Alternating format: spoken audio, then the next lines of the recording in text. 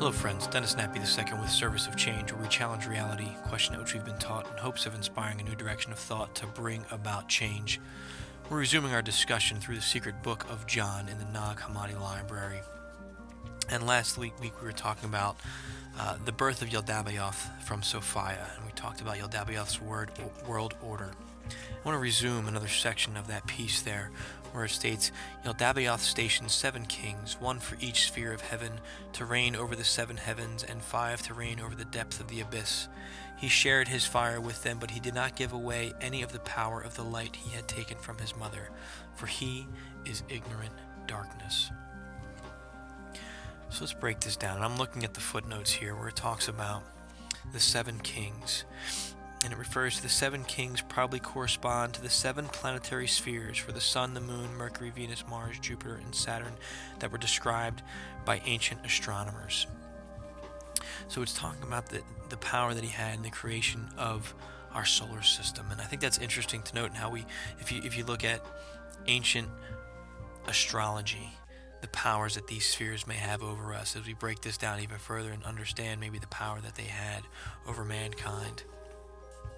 I think it's just something worth noting. Now, he it says he shared his fire with them, but he did not give away any of the power of the light he had taken from his mother, for he is ignorant darkness. Now, what what is that fire? Are we talking in an astronomical sense, representative of the sun? Are we talking in a spiritual sense or metaphysical sense? Or are we talking in both? It's something to consider. Who is this Yaldabaoth who we're going to find is, is not a very positive being, especially in relationship to humanity.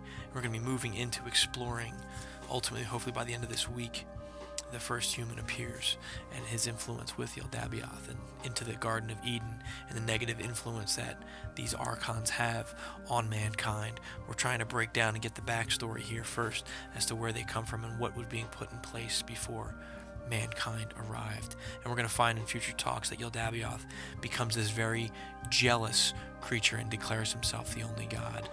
As we go through this, you'll see exactly what that means and how it can impact ultimately the version of history that we've been told. Something to consider, something to, to ponder as we move into our next episode of Daily Gnosis. Please don't forget to check out Service of Change, check the latest episode of the Secret Podcast, and subscribe to the Secret newsletter at serviceofchange.com. Thanks for listening, friends.